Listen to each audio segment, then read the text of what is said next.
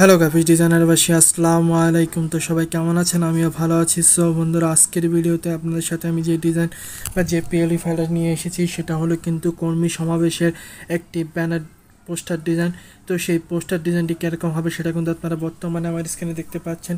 তো এই কর্মী সমাবেশের যে পোস্টার ডিজাইন, সেই পোস্টার ডিজাইনের যে পিএলডি ফাইল তো সেই পিএলডি ফাইলটা সংগ্রহ করতে হলে আপনাকে অবশ্যই ভিডিওটি না টেনে শেষ পর্যন্ত দেখতে হবে। এখানে ছয় সংখ্যার পাসওয়ার্ড দেওয়া থাকবে। আমি একটি করে আমার ছয় সংখ্যার পাসওয়ার্ড ভিডিওর শুরু থেকে শেষ পর্যন্ত দিয়ে দিব। সেখান থেকে খুব সহজে কিন্তু তারা পাসওয়ার্ডটি সংগ্রহ করে আপনাদের সেই পিএলডি ফাইলটিকে ডাউনলোড করতে পারেন। সো বন্ধুরা, আপনি যদি আমার চ্যানেলে নতুন হয়ে থাকেন, তাহলে hit the subscribe button and press the bell icon so ভিডিওটি যদি যদি আপনারা ফেসবুক পেজ থেকে দেখে থাকেন, তাহলে অবশ্যই পেজটিকে ফলো করে দিন। সো কথা না বাড়িয়ে শুরু করছি।